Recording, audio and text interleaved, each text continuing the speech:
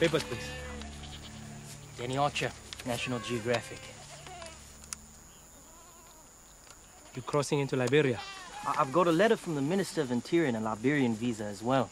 I'm doing a story on the Marrakez, who, as you know, allowed to cross the border in order to get into grazing grounds.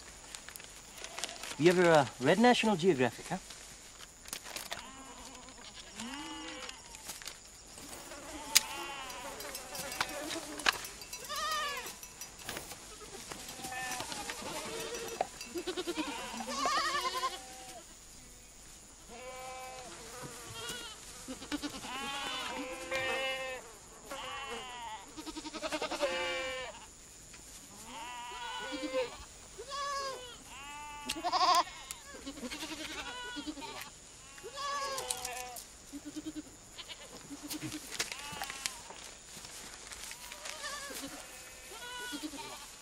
You're under arrest No, no, no. for smuggling.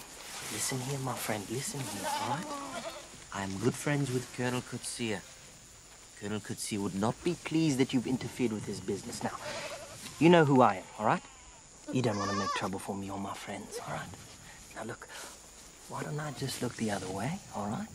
You take one or two of those stones, you get something lekker for the wife or maybe the mistress, all right? We'll solve the problem right here, huh? We'll go back to Freetown and ask Colonel Coetzee how he wishes to thank his business associates. Guys, take him away.